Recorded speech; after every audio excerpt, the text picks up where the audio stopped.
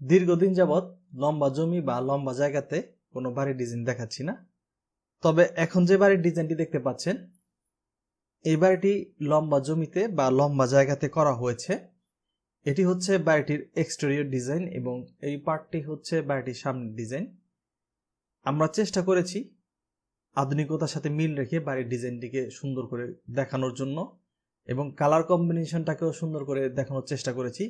যদি ডিজাইনটি এবং কালার কম্বিনেশনটি আপনাদের ভালো লাগে থাকে, অবশ্যই কমেন্ট করে জানাবেন। আমরা উৎসাহিত হব এই ধরনের নতুন নতুন ডিজাইন দেখানোর জন্য। এই বাড়িটি বর্তমানে যে বাজার মূল্য রয়েছে মালামালের, এই বাজার মূল্যের অনুযায়ী নির্মাণ করতে গেলে কি পরিমাণ টাকা খরচ হবে সেই সম্পর্কে আপনাদেরকে একটি ক্লিয়ার ধারণা ও সঠিক তথ্য দিয়ে দিব। এই ডিজাইনের বাড়ি আপনারা চাইলে একতলা থেকে শুরু করে তিনতলা, চারতলা, পাঁচতলা পর্যন্ত করতে পারবেন। পুরো ভিডিওটি দেখেন, দেখলে হচ্ছে এই বাড়ির ডিজাইনটি সম্পর্কে একটি ক্লিয়ার ধারণা পেয়ে যাবেন। কারণ থ্রি মডেল থেকে শুরু করে ড্রয়িং প্ল্যান থেকে শুরু করে পার্ট বাই পার্ট সব কিছুই আপনাদেরকে দেখাবো এবং বিস্তারিত সব কিছু বুঝিয়ে দেব। ডিজাইনটি বা ভিডিওটি ভালো লাগলে অবশ্যই একটি লাইক দিবেন শেয়ার করে আরেকজনকে দেখার সুযোগ করে দিবেন। আর এই চ্যানেলটিকে সাবস্ক্রাইব করে রাখতে পারেন, কারণ এই চ্যানেলে এই ধরনের সুন্দর সুন্দর বাড়ির ডিজাইন নিয়মিত দেখাই। তো আর বেশি কথা বাড়াচ্ছি না, আপনাদেরকে পুরো ডিজাইনটি পর্যায়ক্রমে সবকিছু দেখাচ্ছি এবং বুঝিয়ে দিচ্ছি। আপনারা স্কিপ না করে দেখতে থাকেন। আপনারা বাড়িটির অ্যানিমেশন ভিডিও দেখেছেন, আপনাদেরকে এই বাড়িটির যে থ্রি মডেলটি রয়েছে থ্রি মডেলটি দেখাচ্ছি এবং বিস্তারিত সব কিছু বুঝিয়ে দিচ্ছি আপনাদেরকে আরও ক্লিয়ার ধারণা দেওয়ার জন্য। এই পার্টটি হচ্ছে সামনের ডিজাইন। এই বাড়িটির সামনে একটি পোর্চ রয়েছে। পোর্চের নিচে যে গ্রাউন্ড ফ্লোরে এখানে একটি ডোর দেখতে পাচ্ছেন, এটি হচ্ছে মেইন ডোর। এই ডোর দিয়ে বাড়ির ভিতরে প্রবেশ করতে পারবেন। এছাড়া এই বাড়িতে আরেকটি মেইন ডোর রয়েছে। এই পাশে হচ্ছে সিঁড়ি। এই সিঁড়ি রুমের নিচে এখানে একটি গেট রয়েছে। এই গেট দিয়ে বাড়ির ভেতরে প্রবেশ করা যাবে, তবে এই গেট দিয়ে হচ্ছে সরাসরি ভেতরে যাওয়া যাবে না। এই গেট দিয়ে আপনারা সিঁড়ি রুমে যেতে পারবেন। সিঁড়ি রুমের ভিতরে আরেকটি ডোর রয়েছে, ওই ডোর দিয়ে হচ্ছে প্রত্যেকটি ইউনিটে প্রবেশ করতে পারবেন এবং এই সিঁড়ি দিয়ে আপনারা যদি তিনতলা, চারতলা, পাঁচতলা করেন, সেক্ষেত্রে প্রত্যেকটি ফ্লোরে চলে যেতে পারবেন। আর এখানে একটি বারান্দা দেখতে পাচ্ছেন সামনে, এই যে টেরাসটি রয়েছে বা পোর্সটি রয়েছে, এর সাথেই এই বারান্দাটি হচ্ছে একটি বেডরুমের সাথে, আর আমরা চেষ্টা করেছি দুটি ডিজাইনকেই মিল রেখে কম্বিনেশন করে করার জন্য। আপনাদের যদি এই ডিজাইন ভালো না লাগে, তাহলে এই ডিজাইনটি আপনারা পরিবর্তন করতে পারবেন। তো এই ছিল হচ্ছে বাড়িটির এক্সটেরিয়র ডিজাইন এখন হচ্ছে আপনাদেরকে বাড়িটির যে ভেতরের ডিজাইনটি রয়েছে, সেই ভেতরের ডিজাইনটি দেখাবো। সাত সরিয়ে আপনাদেরকে গ্রাউন্ড ফ্লোরের যে ডিজাইনটি রয়েছে, সেই ডিজাইনটি দেখাচ্ছি। সাত সরিয়ে ফেলেছি। এই বাড়িতে বেডরুম হচ্ছে তিনটি। এছাড়াও ড্রয়িং রুম রয়েছে ডাইনিং রুম রয়েছে, দুটি টয়লেট রয়েছে কিচেন রয়েছে। আপনাদেরকে দেখাচ্ছি এবং বুঝিয়ে দিচ্ছি। এই যে, এটি হচ্ছে ভেতরের ডিজাইন এখানে প্রথমেই হচ্ছে সামনে ড্রয়িং রুম রয়েছে এবং একটি বেডরুম রয়েছে, আর পেছন থেকে হচ্ছে দুটি বেডরুম রয়েছে। এই তিনটি বেডরুমের মধ্যে একটি আবার হচ্ছে মাস্টার বেডরুম এখানে যে পোর্চ রয়েছে পোর্চের এখানে হচ্ছে ডোর দেখতে পাচ্ছেন। এই ডোরটি দিয়ে প্রবেশ করলে এই জায়গাতে পেয়ে যাবেন হচ্ছে একটি ড্রয়িং রুম এই ড্রয়িং রুমটি সম্পূর্ণ সেপারেট এবং কেউ যদি বাড়িতে পর্দার বিষয়টা মেনটেন করতে চান তাহলে করতে পারবেন খুব সুন্দরভাবেই আমি বুঝিয়ে দিচ্ছি। এই ড্রয়িং রুম থেকে ডাইনিং রুমের ভিতরে যাওয়ার অপশন হচ্ছে এটি। আপনারা এখানে পর্দা দিয়ে অথবা গ্লাস দিয়ে এটাকে সেপারেট করতে পারেন। সেক্ষেত্রে যদি বলেন যে মহিলারা বাইরে থেকে বাড়ির ভিতর প্রবেশ করবে অথবা ভিতর থেকে বাড়ির বাইরে যাবে, তাহলে কীভাবে যাবে?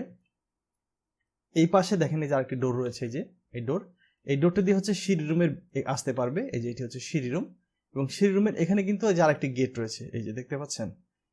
এই গেটটি দিয়ে হচ্ছে একজন মানুষ এই বাড়ির ভিতরে প্রবেশ করতে পারবে এবং বের হতে পারবে।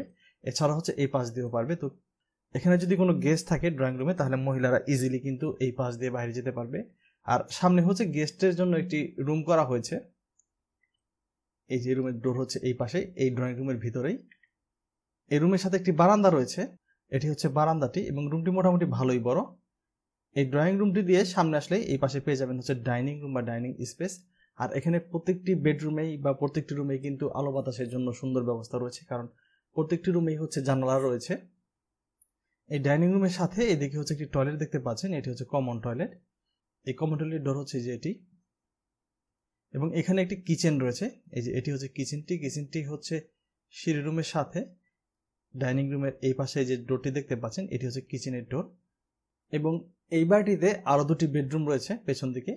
তো এর মধ্যে একটি হচ্ছে মাস্টার বেডরুম বা দিকের সাইডে যে বেডরুমটি রয়েছে এই যে এই বেডরুমটি এটি হচ্ছে একটি মাস্টার বেডরুম এই বেডরুমের সাথে হচ্ছে যে অ্যাটাচ টয়লেট রয়েছে এই যে এটি হচ্ছে টয়লেটটি এই মাস্টার বেডরুমটিতে প্রবেশের ডোর হচ্ছে এই যে এই ডোরটি হচ্ছে মাস্টার বেডরুম প্রবেশের ডোর আর এখানে যে আরেকটি ডোর দেখতে পাচ্ছেন ভিতরে এটি হচ্ছে এই অ্যাটাচ টয়লেটের ডোর এই মাস্টার বেডরুমের সাথেই ডান পাশে এদিকে আরেকটি বেডরুম রয়েছে এই যে এটি হচ্ছে তিন নাম্বার বেডরুম এই বেডরুমটিও বেশ বড়। ড্রয়িং প্ল্যান আপনাদেরকে ডিটেল বুঝিয়ে দিব কত ফিট বাই কত ফিটের রুম প্রত্যেকটি।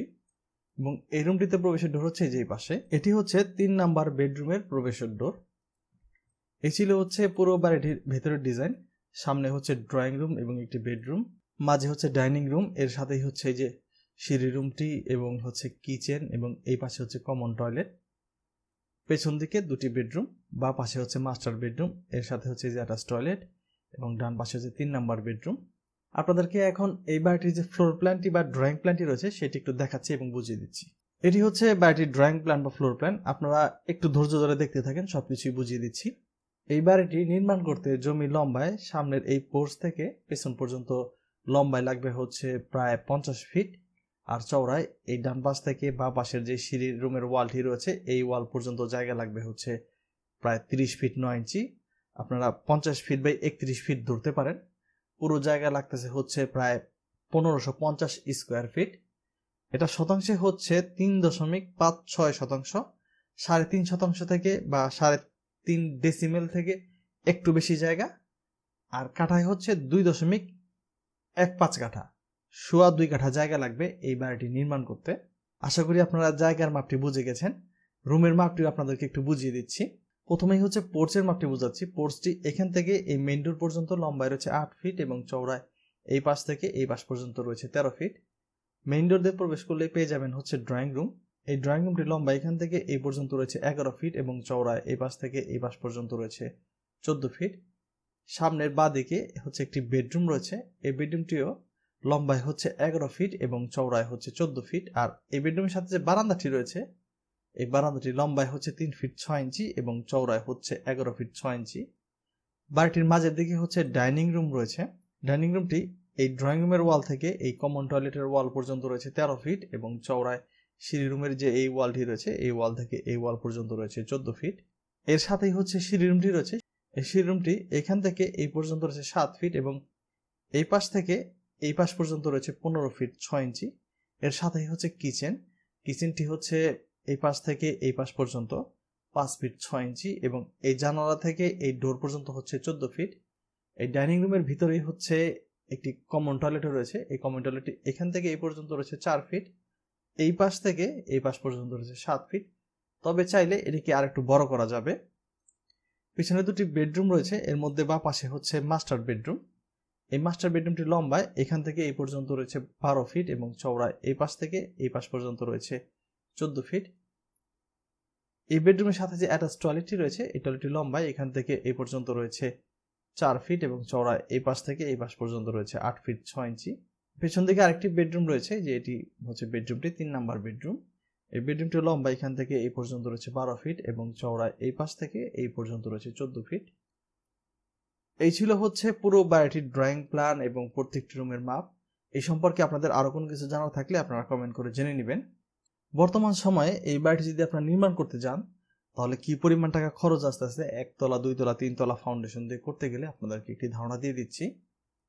এই বাড়িটি যদি আপনারা একতলা ফাউন্ডেশন দিয়ে একতলা নির্মাণ করেন ডিজাইনের যেভাবে দেখেছি ঠিক সেইভাবেই যদি হুবহু নির্মাণ করেন, তাহলে হচ্ছে প্রায় পঁচিশ থেকে ছাব্বিশ লক্ষ টাকার মতো খরচ হবে। আর যদি দুই তলা ফাউন্ডেশন দিয়ে একতলা নির্মাণ করতে চান তাহলে হচ্ছে প্রায় সাতাশ থেকে আঠাশ লক্ষ টাকার মতো খরচ হবে। আর যদি তিনতলা বা চারতলা ফাউন্ডেশন দিয়ে একতলা নির্মাণ করতে যান, তাহলে প্রায় উনত্রিশ থেকে তিরিশ লক্ষ টাকার মতো খরচ হয়ে যাবে। চারতলা ফাউন্ডেশন দিলে আর একটু বেশি খরচ চলে আসবে। কেউ যদি এরকম দুটি ফ্লোরই একসাথে তৈরি করতে যান, সেক্ষেত্রে প্রায় পঞ্চাশ লক্ষ টাকার মতো খরচ হয়ে যাবে। ধরেন পঞ্চাশ থেকে বাহান্ন লক্ষ টাকার মতো। ডিজাইনের যেভাবে দেখেছি, ঠিক সেইভাবেই পঞ্চাশ থেকে বাহান্ন লক্ষ টাকা খরচ করে আপনারা এরকম দুই তলা বাড়িটি একসাথে কমপ্লিট করতে পারবেন। এই বাজারের ভিতরে হচ্ছে একদম পুরো বাড়ির সবকিছুই। এই ছাদের যে প্যারাপেট ওয়াল রয়েছে, সিঁড়ি রুম রয়েছে। মিস্ত্রির মজুরি ফ্লোরের টাইলস কালার থেকে শুরু করে ইলেকট্রিক্যাল মালামাল থেকে শুরু করে একদম সব কিছু অন্তর্ভুক্ত রয়েছে। সোজা কথা হচ্ছে যে আপনারা সব ধরনের মালামাল কিনে একটি খোলা জমিতে এই বাড়িটি এই বাজেটের ভিতরে সম্পূর্ণ নির্মাণ করতে পারবেন। তবে জায়গা ভেদে হয়তো কোথাও কিছু খরচ বেশি লাগতে পারে। আবার ভবিষ্যতে যদি মালামালের দাম আরও বেড়ে যায়, তাহলে কিন্তু নির্মাণ খরচ আরও বেড়ে যাবে। আর যদি মালামালের দাম কমে যায়, তাহলে হচ্ছে নির্মাণ খরচ কমে যাবে। এই ছিল হচ্ছে আজকে ডিজাইন থেকে শুরু করে সবকিছু। চেষ্টা করেছি আপনাদেরকে একটি সুন্দর ধারণা দেওয়ার জন্য। আশা করি আপনারা বুঝতে পেরেছেন। যদি ডিজাইনটি বা ভিডিওটি ভালো লাগে, অবশ্যই একটি লাইক দিবেন, শেয়ার করে আরেকজনকে দেখার সুযোগ করে দিবেন, আর অবশ্যই চ্যানেলটিকে সাবস্ক্রাইব করে রাখবেন। যারা পুরো ভিডিওটি দেখলেন, সবাইকে অসংখ্য ধন্যবাদ জানাচ্ছি। সবাই ভালো থাকবেন। আল্লাহ হাফেজ।